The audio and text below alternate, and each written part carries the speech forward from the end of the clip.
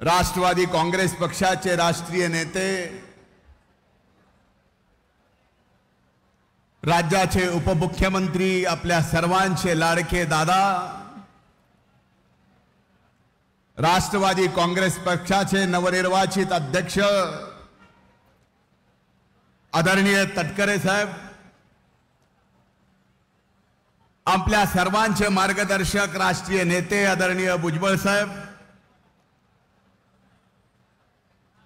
मंत्रिमंडळातील आमचे आदरणीय सहकारी हसन मुश्रीफ साहेब दिलीप वळसे पाटील साहेब आदरणीय रामराजे निंबाळकर साहेब आदरणीय अतराम साहेब महिला आयोगाच्या अध्यक्षा आणि महिला आघाडीच्या अध्यक्षा सन्माननीय रुपालीताई चाकणकर विधिमंडळातील माझ्या भगिनी सहयोगी मंत्री आदितीताई तटकरे संजयजी बनसोडे अनिलजी भायदास व्यासपीठावर उपस्थित आदरणीय रामराजे निंबाळकर साहेब विधिमंडळातील व्यासपीठावर उपस्थित सर्व सन्माननीय सदस्य विधानसभेचे उपाध्यक्ष आदरणीय झिरवळ साहेब व्यासपीठावर उपस्थित सर्व मान्यवर आणि आजच्या या मेळाव्याला राष्ट्रवादी काँग्रेस पक्षाच्या इथं उपस्थित उभ्या महाराष्ट्रातून आलेल्या माझ्या सहकारी बंधू भगिनीनो आणि पत्रकार मित्रांनो.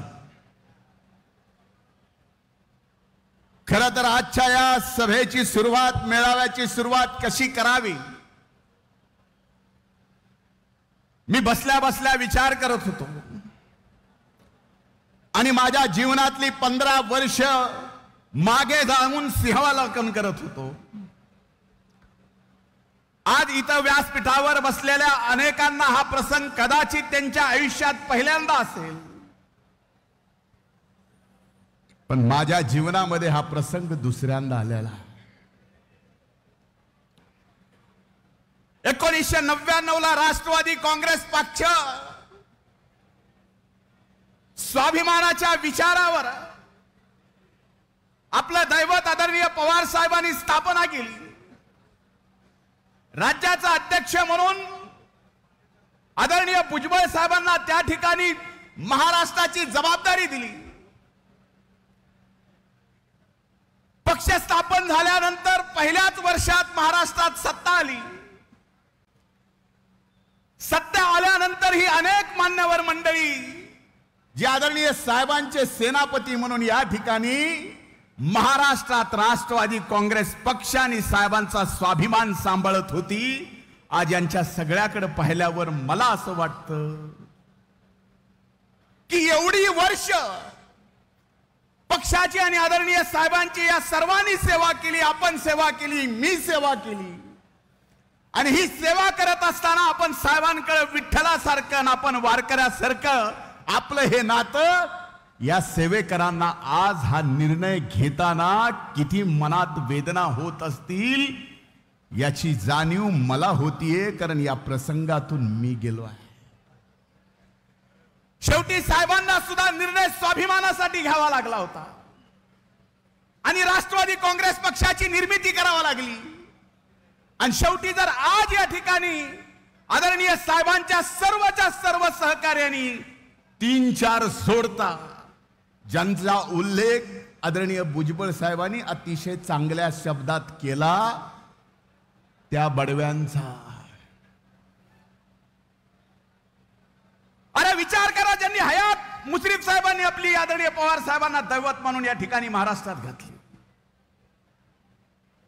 साहेबांचे मित्र म्हणून रामराजे साहेबांनी आदरणीय साहेबांच्या सोबत इतके वर्ष काम केले. देशाच्या राजकारणामध्ये खांद्याला खांदा लावून सावली सारखं आदरणीय प्रफुल्लभाई पटेल साहेबांनी साहेबांसोबत काम केलं. आदरणीय भुजबळ साहेबांनी अतिशय कठीण प्रसंगात सावली सारख्या साहेबांच्या सोबत या ठिकाणी राहिले. आदरणीय दिलीप वळसे पाटील साहेबांनी तर आठ वर्ष सत्ता नसताना अतिशय वाईट प्रसंगात ट्रेनी पीए म्हणून सुद्धा आदरणीय साहेबांचं या ठिकाणी काम केलं. इथं अनेक मान्यवर मंडळी आहे. मी त्या प्रत्येकाचं या ठिकाणी उदाहरण देऊ शकतो.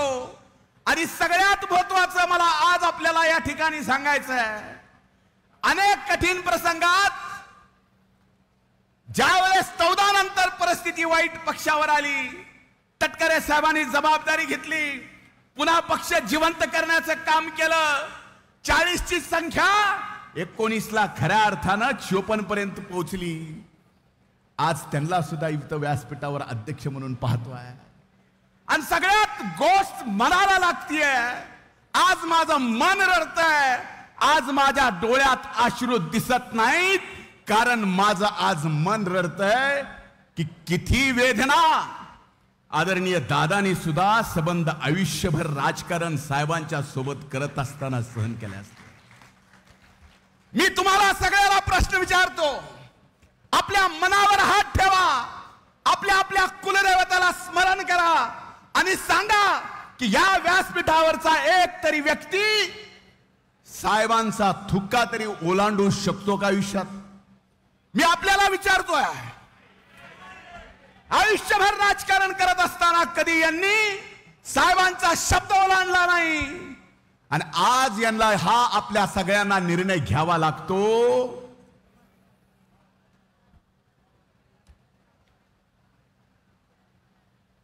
गुगली तर नाही.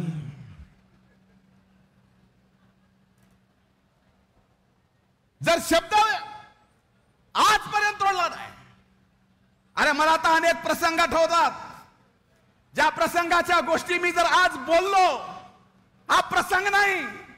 पण कधीतरी एकदा बोलणार आहे की एक व्यक्ती ज्या व्यक्तीनं सगळ्यात जास्त अपमान भोगला असेल सगळ्यात जास्त मान खाली गावा लागले असेल ज्याच्या जास्त ठेचा खावा लागले असतील त्या व्यक्तीचं नाव आदरणीय अजितदादा पवार साहेब आहेत.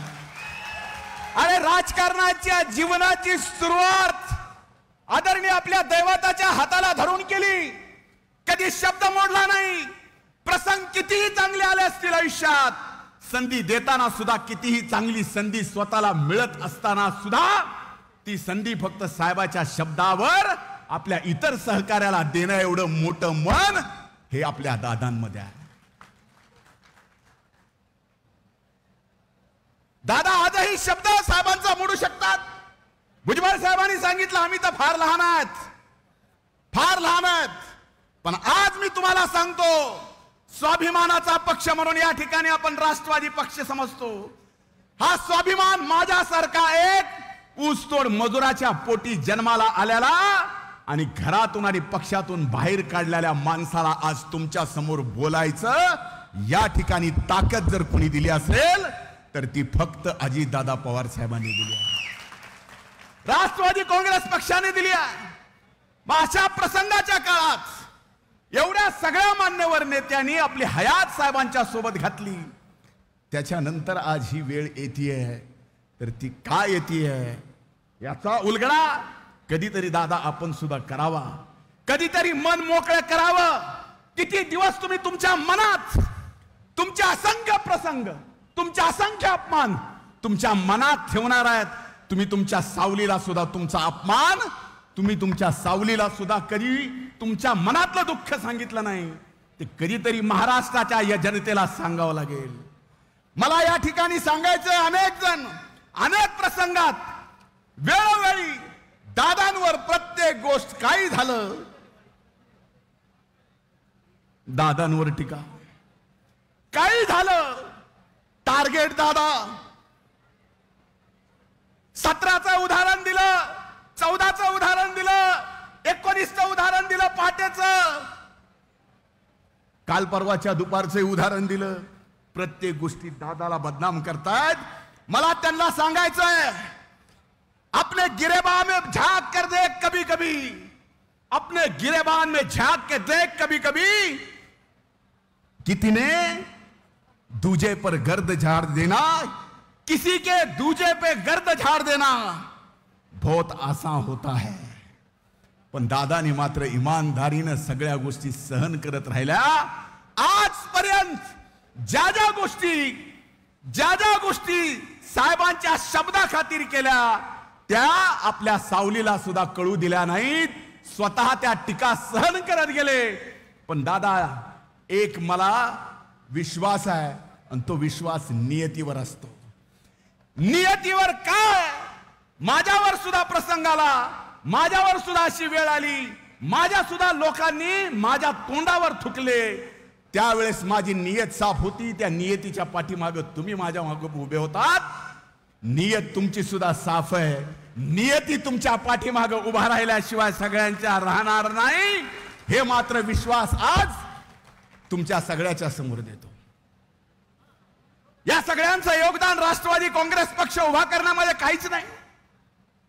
काच फक्त आदरणीय साहेबांच्या बाजूला असलेल्या तिघादारांचं योगदान महत्वाचं आहे? सकाळी सहा वाजल्यापासून ते रात्री बारा वाजेपर्यंत हे सगळे मान्यवर नेते त्यातले त्यात दादा. त्यांना सकाळी लवकर उठायची सवय मला उशिरा उठायची सवय. इतक्या वेळ फक्त आणि फक्त पक्ष साहेब साहेबांचा शब्द आणि साहेबांनी घालून दिलेला आदर्श ऐंशी टक्के समाजकारण आणि वीस टक्के राजकारण करत आज राष्ट्रवादी काँग्रेस पक्ष इथं पोहोचलाय हा पक्ष पोहोचलाय म्हणजे तुम्ही पोहोचलात. आज तुम्ही सगळेजण आज राष्ट्रवादी काँग्रेस पक्षाचा स्वाभिमान म्हणून इथं आलात. माझी आपल्याला हात जोडून कळकळीची विनंती आहे. हा स्वाभिमान जिवंत ठेवण्यासाठी या ठिकाणी हा आपल्याला निर्णय घ्यावा लागलाय. आणि हा निर्णय घेताना काय आरोप केले जातात?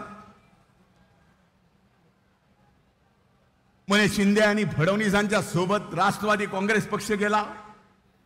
दादा गेले. काय तर म्हणलं हिंदुत्व मान्य आहे का? अरे आमच्याकडे हिंदुत्वाचा विषय ज्यावेळेस येतो त्यावेळेस आम्हाला फक्त छत्रपती शिवाजी महाराजाचं हिंदवी स्वराज्य दिसतं. ज्या हिंदवी स्वराज्याला अभिप्रेत असणारं राजकारण राष्ट्रवादी काँग्रेस पक्षाने केलं. छत्रपती शिवाजी महाराजाच्या हिंद हिंदवी स्वराज्याला कुणीही नकारू शकत नाही. त्या अठरा पगड जाती धर्माला सगळ्याला संधी दिली. अरे इथं मुश्रीफ साहेब बसलेत. कागल मधून निवडून येतात. बहुसंख्य हिंदू त्या ठिकाणी मुश्रीफ साहेबाला मतदान करतात. आणि स्वतः मुश्रीफ साहेबांनी राम मंदिर उभं केलंय. आणि माझ्यासारखा सुद्धा एक माणूस कुराणची आयात गळ्यात घालतो. याच्यामुळं विषय कोण कुणासोबत गेलं नाही. याचा विषय नाही. मागचा इतिहास जर काढायचा झाला तर माझ्यासारखा व्यक्ती वयाने आणि राजकारणातल्या अनुभवानी कमी पडेल. पण बोलायचं म्हणल्यानंतर एक मात्र नक्कीच आहे. आमचे गुरु आमचं दैवत हे आदरणीय साहेब आहेत. आणि जर गुरुनी मी जर गुरुचा खरा चेला असेल मी जर एखाद्या गुरुजीचा पक्का विद्यार्थी असेल आणि गुरुजीनं शिकवलेला एखादा धडा जर मीच पुन्हा कुठं गुरुजीच्या परस्पर गिरवला असेल तर तो गुरुजीचा आदर्श समजायचा का गुरुजीचा अपमान समजायचा? काय समजायचं? म्हणून मला आपल्याला सांगायचं आहे राष्ट्रवादी काँग्रेस पक्ष हा इथं माझी आनंदीय साहेबांना विनंती आहे वयाला लहान आहे आपण संधी दिली आहे. आजही या बहुसंख्य लोकांचं सावली म्हणून ज्यांनी आपली आयुष्य हयात चाळीस चाळीस पंचेचाळीस वर्ष आपल्यासाठी या ठिकाणी घातली आपणही त्यांच्यासाठी केलं यांनी तुमच्यासाठी आणि पक्षासाठी केलं. माझ्यासारखा तर नंतर आलेला माणूस आहे. हात जोडून विनंती करतो की लोकशाहीला मानणारे एक आमचे आदरणीय साहेब या लोकशाहीला सुद्धा मानतील. एवढीच माझी खऱ्या अर्थानं अपेक्षा आहे. आणि तुम्हाला सुद्धा काय वाटतं ही लोकशाही आहे का नाही? ही लोकशाही आहे का नाही? ही लोकशाही तुम्हाला मान्य आहे का नाही? आणि ही राष्ट्रवादी काँग्रेस पक्षातली लोकशाही आहे. म्हणून हे सगळं आहे. आज महाराष्ट्राच्या सत्तेत आलोत. सत्तेत आल्यानंतर विकासाचं राजकारण.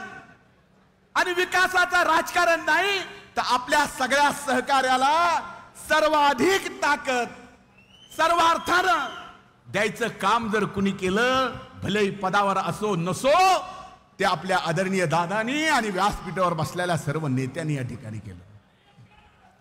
आणि मला खात्री आहे समाजकारणातून राजकारणातून आणि आज आपण सत्तेत आहोत आम्ही सगळे मंत्री आहोत. मला पुन्हा संधी दिली. आभार मानतो दादा पण एक निश्चित आहे तुम्ही जे स्वप्न या महाराष्ट्राच्या बारा कोटी जनतेच्या विकासाचं पाहिलंय ते विकासाचं स्वप्न या ठिकाणी या स्वाभिमानी इथं उपस्थित राष्ट्रवादी काँग्रेस पक्षाचा माझा बंधू भगिनी कार्यकर्ता सहकारी पूर्ण केल्याशिवाय राहणार नाही. हा विश्वास व्यक्त करतो आणि आपल्या सगळ्याला एकदा सांगतो की आपला स्वाभिमान जर जिवंत असेल तुम्हाला जर हृदय असेल आणि त्या हृदयाला जर वेदना असतील संवेदना असतील तर एकदा मनावर हात ठेवा. आणि सांगा राष्ट्रवादी काँग्रेस पक्षाचा. राष्ट्रवादी काँग्रेस पक्षाचा. आदरणीय दादा तुम आगे बढ़ो आदरणीय दादा तुम आगे बढ़ो खूप खूप धन्यवाद. जय हिंद जय महाराष्ट्र जय राष्ट्रवादी.